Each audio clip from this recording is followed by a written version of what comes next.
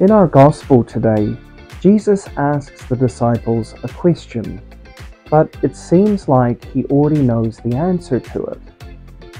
So why would he ask it? Let's find out.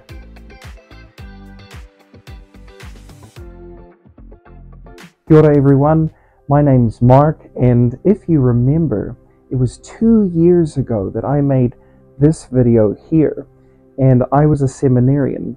I was training to be a priest at Holy Cross Seminary, and now, praise God, I am a priest. Uh, I am an assistant priest up here at uh, St. Joseph's, Takapuna, uh, in Auckland, and it's really wonderful to be able to share another gospel reflection with all of you down in Christchurch. In our gospel today, there's a really interesting interaction with Jesus and the disciples. So they're traveling to Capernaum, and on the way, the disciples are arguing about who is the greatest of all of them. And when they get to Capernaum, Jesus asks them, What were you arguing about along the way? And the disciples, they don't want to answer because uh, maybe they're embarrassed. Maybe they think, oh, we probably shouldn't have been saying those things. And so they don't tell Jesus what they've been arguing about. But if you notice, Jesus already seems to know what they've been talking about because he sits down with them and he says, If any of you want to be the greatest, you have to be the least. You have to be a servant to others. So, why would Jesus ask a question that he already knew the answer to? Or maybe Jesus just wanted to have a conversation with them. Maybe Jesus just wanted to know what they were thinking. They wanted, uh, he wanted them to interact with him. And that, plus this uh, command of Jesus to be a servant to others, gives us two really good lessons for today. The first lesson is that God wants you to share your life with Him. He wants to know about the things that worry you. He wants to know about the things that uh, you find difficult or hard. Um, maybe you're learning something new at school and it's kind of hard. Uh, maybe you're embarrassed about something that you did, like the disciples were.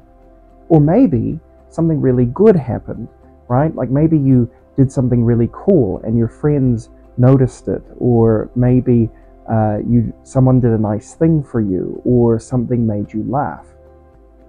No matter what it is, God wants to know about it.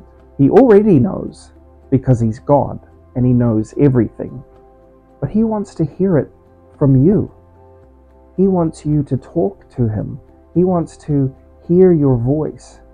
He wants to have a relationship with you because He's so interested in everything about you the good things and the bad things. And so He wants you to share everything with Him. And the second lesson is that God wants us to share with others as well. He wants us to be generous and giving and kind. But it's hard to do that if we think that we're better than everyone else, right? That's why Jesus says if we want to be truly great, if you want to be really amazing, you need to be a servant to other people. You need to help others. You need to be kind to others and respect others. We need to look out for each other instead of thinking about ourselves all the time. And with God's help, we can do that. It's not always easy, but Jesus is always there to help you. And so today, you might like to do something nice for another person, or you might like to just sit and have a conversation with God and share the things in your life that are difficult or that are exciting or that you're happy about, anything it is, God is always wanting to listen to you. And God is listening to us right now.